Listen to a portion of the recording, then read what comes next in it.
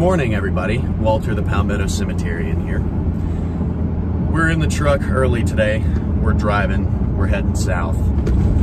Going to Piedmont. If you have seen my last video on my channel, or if you follow my Instagram page, you have seen the Charles House. Um, now, if you don't know, the Charles House is a home that my ancestors built and lived in probably dating back to the 1830s or 1840s. The house is known as the John M. Charles House. John M. Charles um, is my great, great, great, great, great, great grandfather. Can't even count him on one hand. Um, he died in 1848, so I know the house has to predate that year at least. So, nearly 200 years old, right? At least maybe 180 years old. The house, if you remember, has been sitting on a piece of commercial real estate that's very expensive. Um, sorry, I gotta change lanes. Um, and because of that, I have always known that the clock is ticking on the house.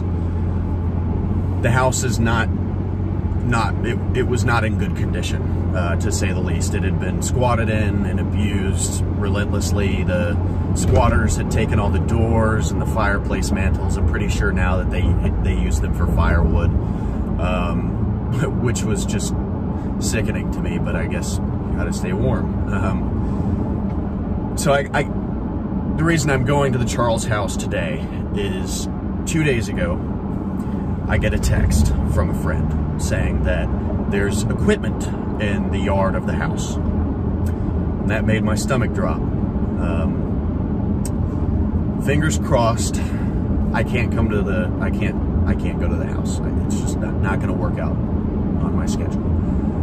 Um, the next day, I get a text um, saying that only one wall of the house is left. Um, and then yesterday evening, I get a text saying that all of the wood has been hauled off from the house. Um, and there's a pile of bricks left. So the house has been destroyed. I, I knew this time was coming, uh, but I didn't think it was going to come so soon. I wasn't terribly pleased with my video on the Charles house that I did, and that's just because I'm inexperienced. I just started editing stuff. Um, and while watching YouTube videos is one thing, and I've watched many of them in my life, um, making them is, a, is kind of a different story, I think. Making them is a little bit more difficult. But I'm figuring it out.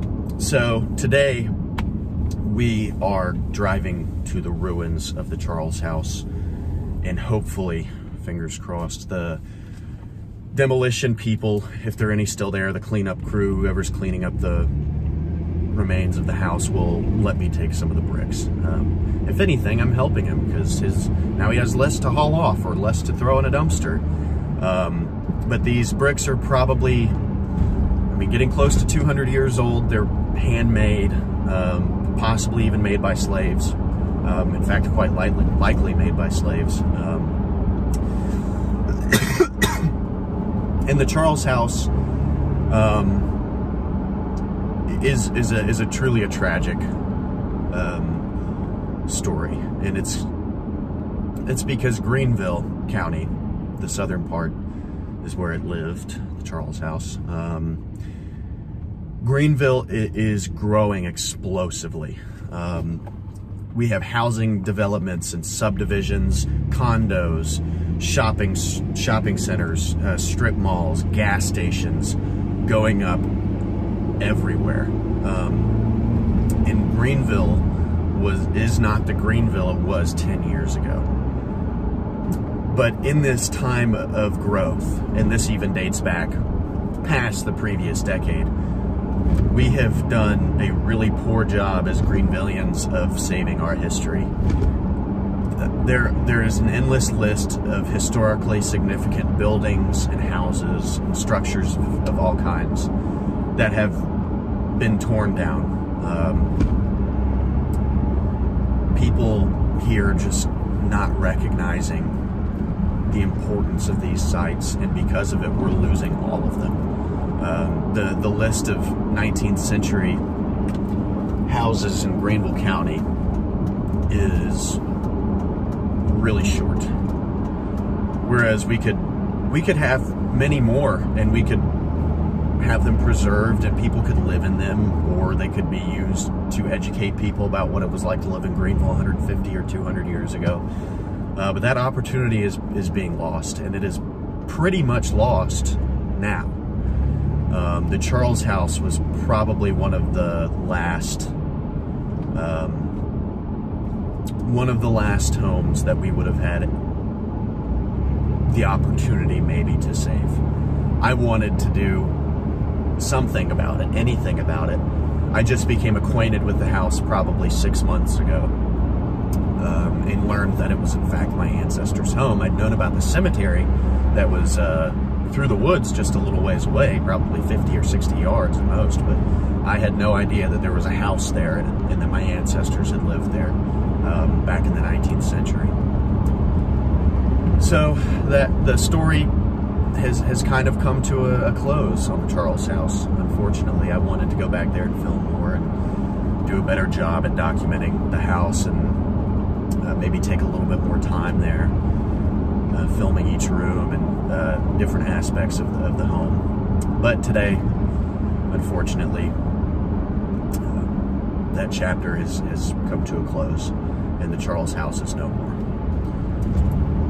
I'm pretty heartbroken over it but also at the same time, you know, I'm a 21 year old guy and, you know, I don't have millions of dollars to persuade people or to buy property. One day I would like to, to prevent stuff like this from happening because it, it's very painful, but it is what it is. And what I had to tell myself last night is everything has an expiration date. You and I have an expiration date the Charles House had an expiration date.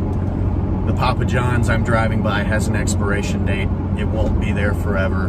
We won't be here forever. Planet Earth won't be here forever. So, you know, while historic preservation is, is exponentially important, in my opinion, and I would do anything to have saved the house if I had known what to do. Um, I just have to realize, you know, even even houses that are preserved and restored um, and used as historic sites to educate the public about uh, the area or a particular person, even those burn down from electrical fires, you know. So everything has an expiration date. It's it's an unfortunate aspect of our existence, but you know it is what it is, and, and I'm okay with that um, in my own way. It's just a shame that the Charles house couldn't be saved. I wanted my children to be able to see it. Um, but if they can't see it, then I'll have to bring them or leave them with pieces of it that they can pass down to their children. And hopefully the uh, some of the bricks I collect today will end up being um, of historic importance here in Greenville. I hope so, at least. Hope other people will see the same thing that I do in them. But anyways, let's get to the cemetery and to the Charles house. Not looking forward to seeing this house. I have to apologize for the noise from the road. I am right next to a busy road, but it's true. The house is destroyed. It is gone.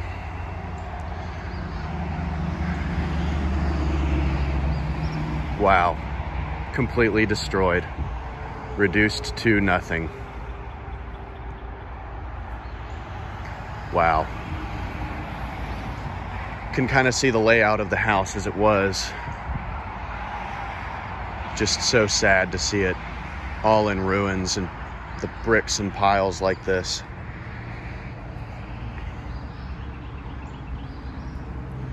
It's quite sad.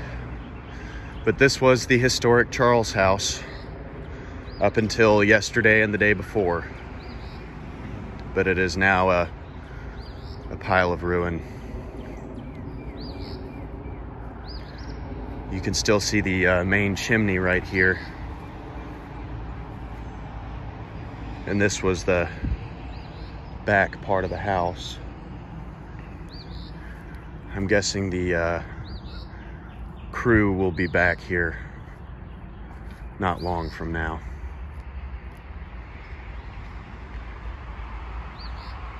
Wow. All I can really say is wow. you can see the cinder block is from the added on parts of the house and then the, the brick is original. But that is the remains of the chimney there. 200 years old almost.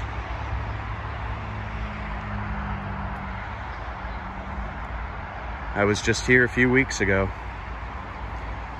and it was a standing structure, but now it is, it's gone. This was the back of the house and this was the little door at the side we used to come in when I would uh, explore.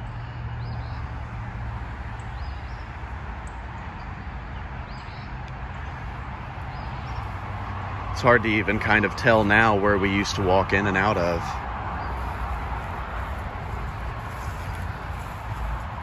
Because it's just all nothing.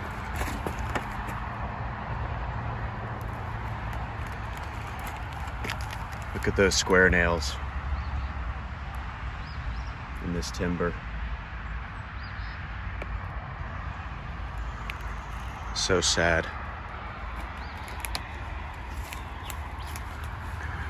Wow. You can really see into the, uh,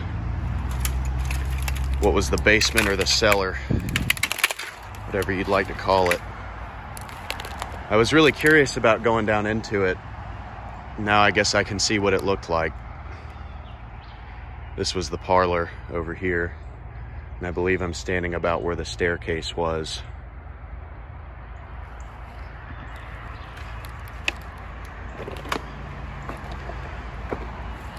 Hope I'm not standing in asbestos.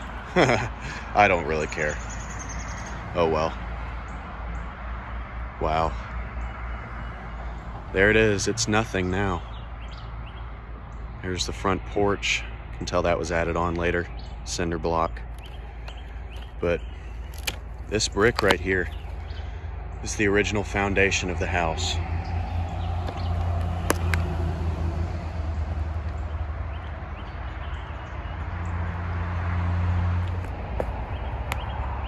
I think that may have been one of the steps right there. It's kind of difficult to tell now.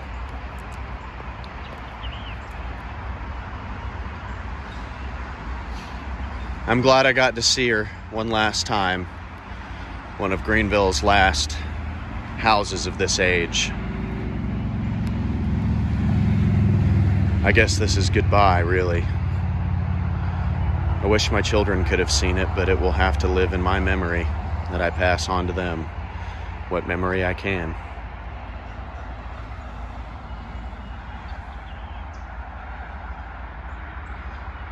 Two hundred years almost of history reduced to a pile of inglorious rubble with an excavator parked on top of it. How about that?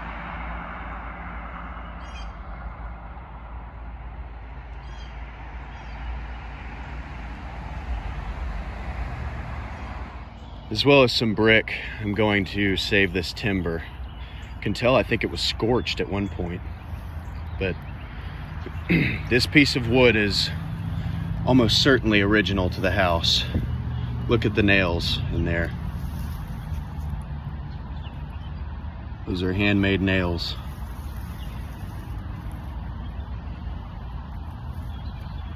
You can see a cut right there some kind of a beam support maybe. Hard to tell now, but let's see if we can find some good brick.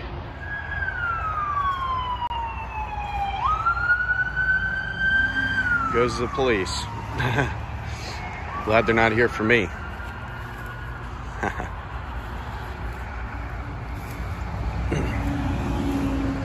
but you can see through there, that pile of brick is what's left of the side chimney. The house had three fireplaces, which was pretty common. Kind of a main one in the middle of the house and one on each side. Wow.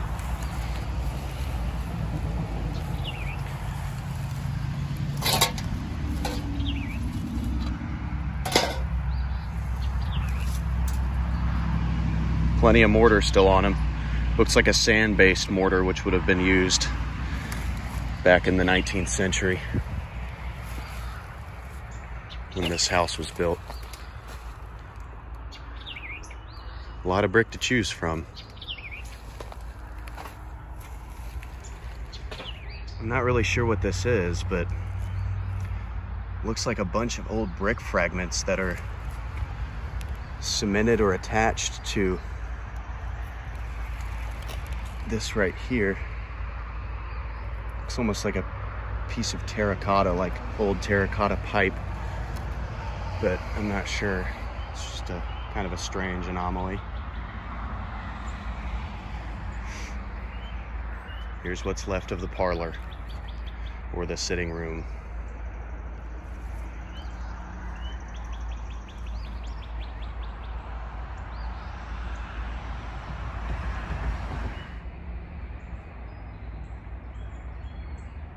Some semblance of the floor still left over here.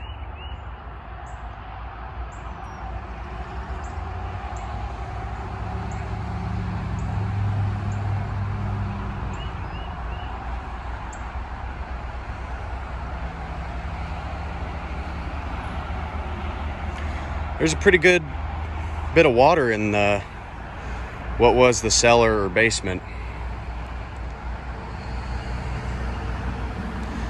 Probably, maybe it could be a foot deep. not surprised.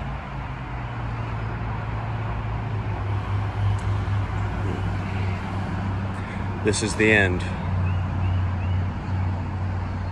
And another great part of Greenville's history is gone. And there's not much left, but it probably won't be the last. It's just hard to believe and it's sad to see. But I'm very glad that I've come here today and been able to collect some remnants of the home to give to my descendants. Pulled this square nail out of a board. But it's amazing handling these bricks, knowing that probably the last person to really hold these bricks in their hands were more than likely the slaves that put them where they were for nearly 200 years. And many of those slaves who did that are buried in these woods. There's a slave cemetery out there. I just, I don't know exactly where it is. If you've seen my previous one before last video. But I'm gonna grab a few more things, get what I can, and get out of here because I really don't want to get chased off. I'm not sure where the demo guys are, but I don't want to wait to find out. I just want to be gone when they get here, if they're coming today.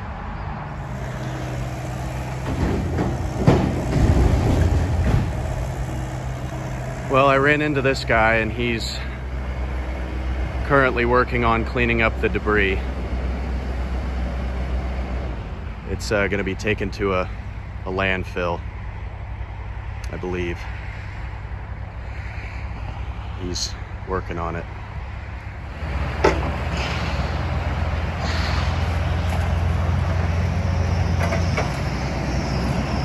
Wow, look at that timber. Golly.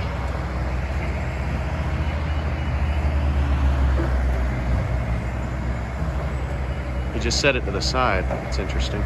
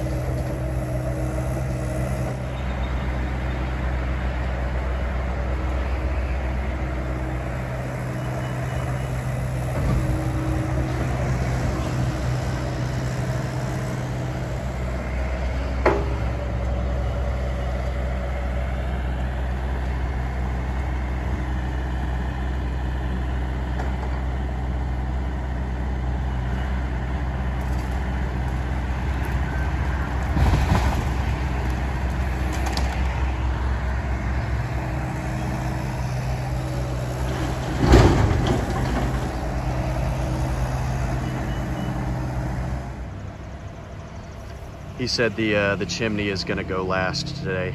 I would like this day to see it go, but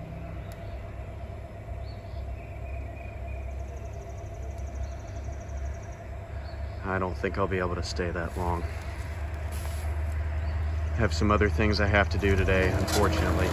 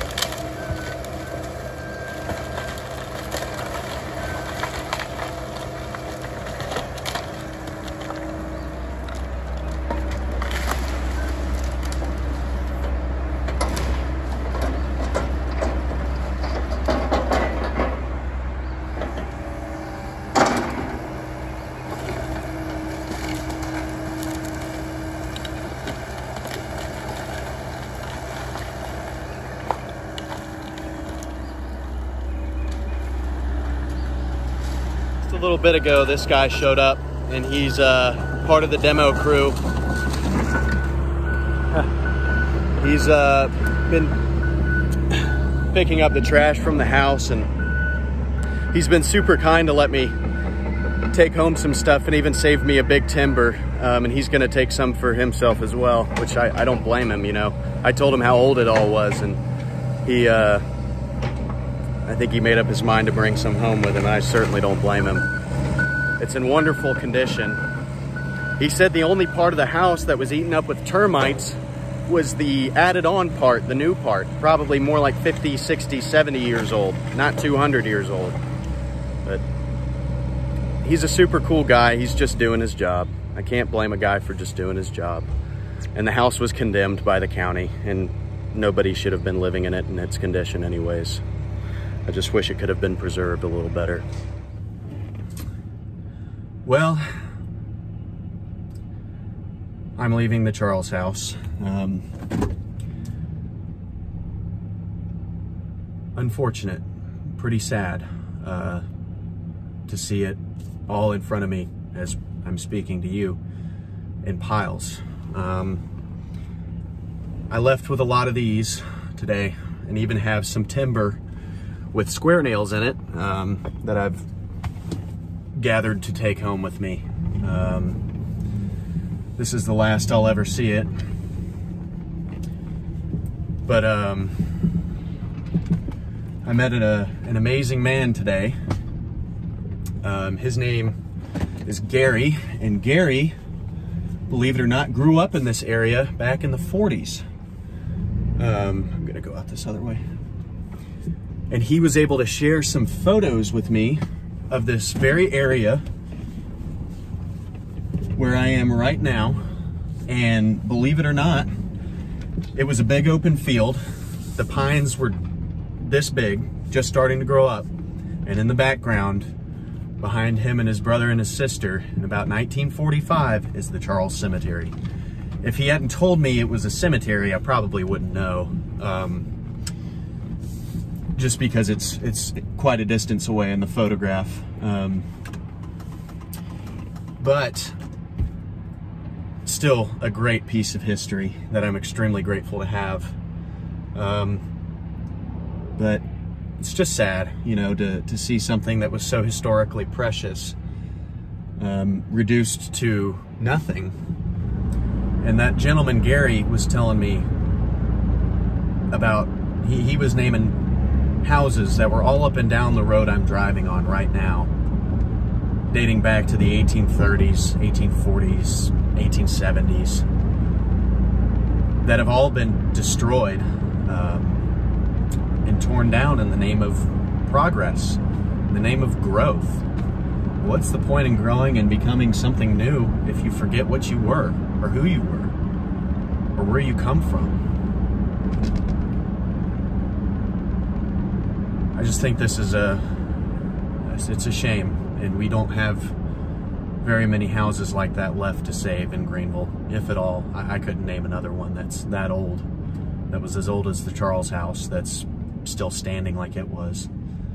And the thing that almost pained me the worst is the house was condemned, which is why it was torn down. Nobody had lived there officially for 20 years. Of course, the squatters um, are an exception. It's not like they exactly took care of the place. Um, but the, the thing that really got me was that the timber, the original timber, I'm sitting next to some of it right now and I've got more in the bed, was not termite damaged at all.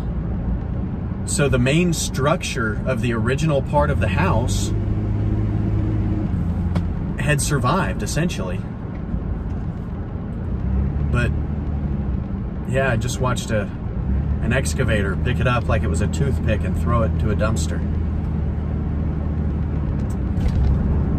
Not exactly a victory, but also knew that this was coming eventually. And that likely it wouldn't there wouldn't be enough time for me to be able to buy the house or buy the property and move the house somewhere else. It just wasn't going to happen. But I got it. I got to go inside. I got to see it. I got to film it. Um, I got to watch it be torn down, which was saddening, but also kind of gives me a sense of closure about it because it would have been much worse to drive by and see it just gone as if it had never been there. Um, just is how it is now, folks. But I hope my next video will be a little bit happier, um, a little bit more positive. Maybe we can, I can show you how I've been doing in the cemetery. I think I've been doing all right. It's It looks dr drastically better than it did back in December. It's April now. I've been working in it as much as I can here and there for four months. It's it's a 40 minute drive in a direction I rarely travel. And the only time I really traveled this far south is to go to the Charles Cemetery or was to go to the Charles House. But I'll be curious to see what ends up happening with the property. They, they had to tear the house down. The county ordered them to do so. I think they've been putting it off for a long time. Thank you for watching my video today. I greatly appreciate it. If you liked the video, like it. Uh, if you want to see more of them, subscribe and uh, follow me on Instagram, uh, Palmetto Cemeterian. Uh, it's the same name that I have on YouTube. It's just one word. But uh, thanks again for watching. I really appreciate it. And thank you again for all your support. Um, this has not been the, the easiest journey or the easiest venture, but it is a worthy venture. Cemeteries are it's so important to me and they're they're such important parts of our community. Whether it's a small family cemetery that's got five graves in it, or a city cemetery with uh, with several hundred or maybe even thousands. But I'll have more for you soon. I look forward to seeing y'all again shortly. Take care. Before I let you go, um, these are some of the bricks, just a few of them that I have from the house. The ones on the left are um, from the chimney fireplace. Um, the one on the top is from the main chimney, and then the one on the bottom is from the right-hand side. And then these two are much the same. Um, and then these are foundation bricks. Um, as you can see, there's still quite a lot of mortar left on them. Um, and then in the corner, I've got some of the timbers. The left one I did not show y'all. It's got some good square nails in it. The top one, y'all did see the scorched one. And then I have a small section of a large timber right there. But um, before the video ends, here's a quick little compilation of some footage from the Charles house before it was torn down. Thanks again for watching.